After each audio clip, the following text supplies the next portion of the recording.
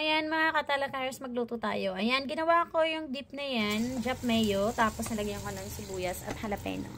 Meron din siyang konting uh, asin at paminta. So, magluto tayo ng bacon. Meron na tayong fries na katabi para ilalagay natin sila lahat sabay-sabay sa roll.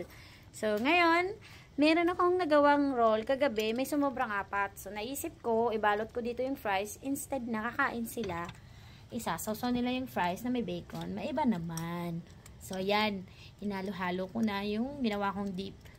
So, mamaya ilalagay natin sila sa roll para mailagay din natin yung fries at saka yung bacon. So, ayan. Nilalagay ko na po mga katalak hairs. Ang sarap niyan. Medyo maasim-asim na maalat-alat.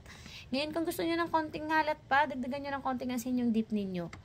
Kung ayaw niyo naman, ang magpapaalat lang is ang bacon, eh okay na po yun. Then, lagyan po natin sa ibabaw ng paminta. Yung crack paminta po, ah, yung crack na paminta.